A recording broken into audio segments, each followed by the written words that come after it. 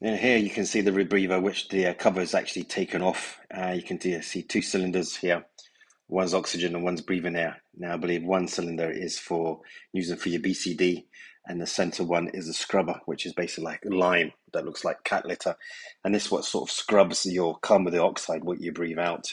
And it just circulates the air. And if with via sensors that you need more O2, um, it um, injects um, oxygen into the rebreather so you can just carry on breathing.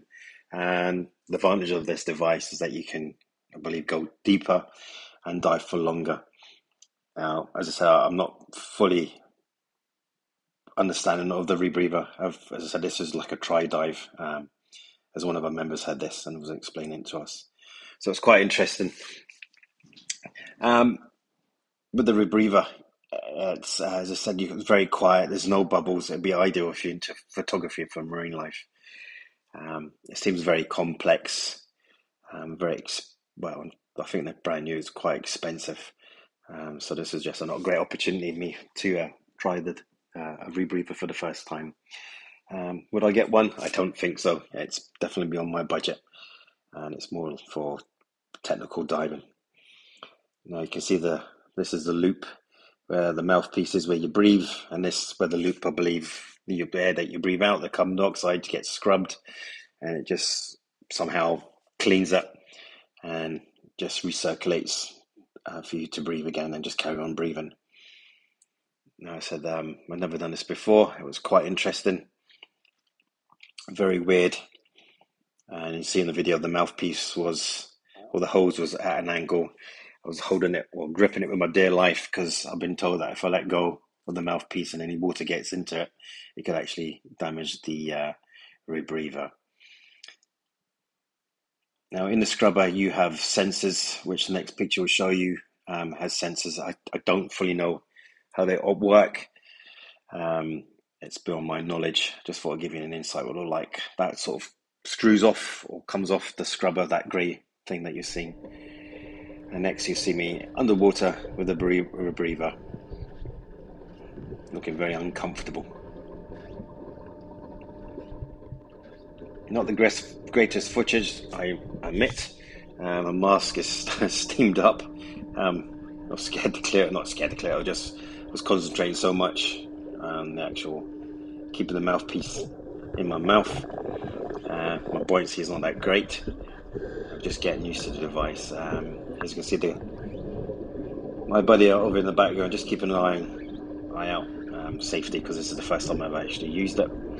I felt quite comfortable in it once I got used to it. As you can see, it's it's got the cover on the back. It's nice and yellow. No bubbles, silent. It felt like it feels like it's not working, but it is. It's pretty pretty impressive how it works. Still can't get my head around it to be honest. So just me, just um, swimming around, getting used to it, um, using the B, uh, trying to use the BCD uh, to get my buoyancy, but I never got it right in the end. So basically, if you get any chance of to get a try dive and a rebreathe, I definitely would recommend it because it's a totally different experience. Definitely experience. As you can see, the mouth, the hose is at a funny angle don't know why. I think it's set it up for the actual person who owns this. So sometimes I'm just standing still, just trying to listen for a noise.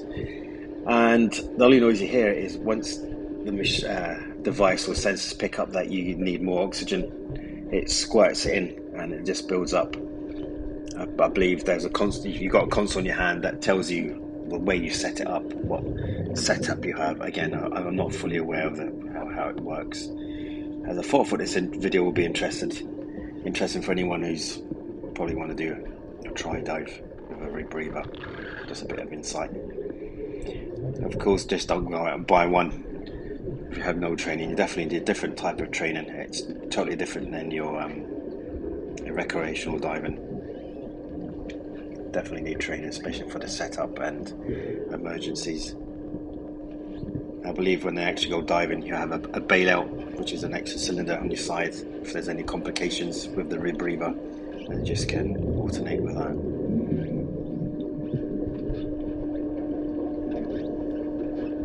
There's me, poor attempt of trying to clear my mask. Just swim around the swimming pool, just trying to get used to it. There's me stopping, just trying to listen to any sound, Just is just quite unusual. Not hearing any bubbles blow away. Let's try and fix that mouthpiece, as I said, had a death grip on it, as I don't want it to um, come out of my mouth because it was pulling.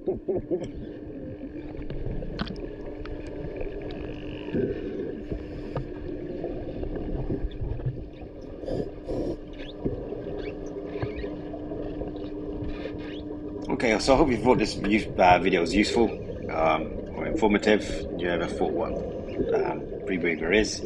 I said I don't have full knowledge. If I said something wrong in this video, I do apologise to any rebreathers. I said this is the first time I've used it, and I thought it might be interesting for some of my subscribers who probably haven't done rebreathing before.